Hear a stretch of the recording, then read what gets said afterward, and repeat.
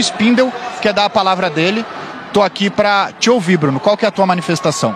Primeiro, boa noite a todos. Obrigado aí pelo, pelo espaço que vocês estão dando. A gente acha o que está acontecendo um assinte. É, um presidente de um clube diz que tem roubo, que tem fraude, que tem manipulação, o outro diz que tem assalto, o outro que diz que tem roubo, e jogo após jogo, com os árbitros acuados, eles vão prejudicando o Flamengo jogo após jogo. O Bruno Henrique falou aí, é um absurdo não ter dado a. É, e, e o que mais é assintoso é a falta de critério e sempre contra o Flamengo. Eu não consigo achar que isso é normal, que não tem alguma coisa por trás. É um assinte o que aconteceu.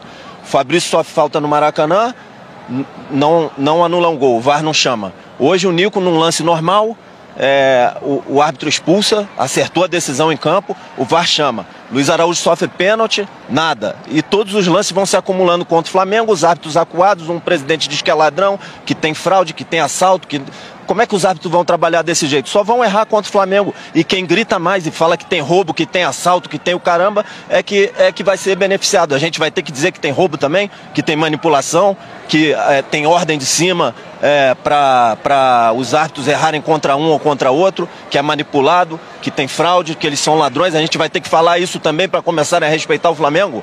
É isso que tem que ser feito? A CBF precisa esclarecer, porque não acontece nada. Quem diz que tem assalto, que tem roubo, que tem o caramba, não acontece nada. E o árbitro entra completamente acuado em todos os jogos que vai jogar contra o Flamengo.